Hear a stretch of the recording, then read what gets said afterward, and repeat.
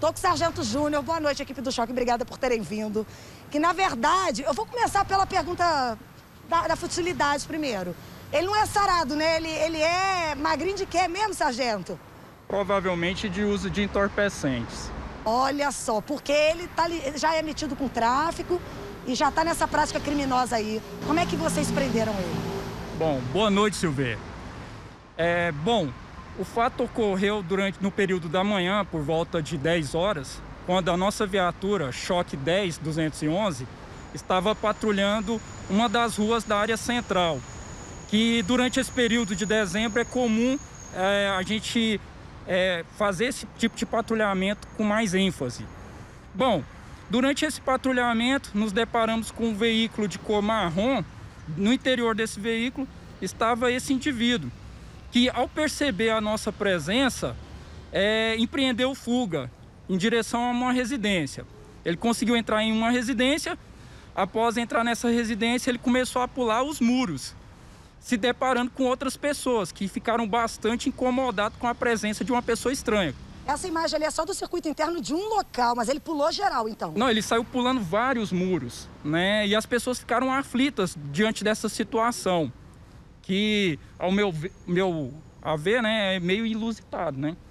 Bom... É, com certeza, inusitado, a gente parou ali, que a Silveira reparou que ele é fortinho, mas, como quem diz, parece que está acostumado a pular para fugir da polícia. Não, é, é, ele já tem esse hábito, né? Ele tem em seu desfavor diversas passagens, né? Principalmente de 157, que é roubo, né? E diante dessa situação que é, ele, por ter várias passagens, né? E está cometendo algum tipo de ilícito, evadiu da equipe.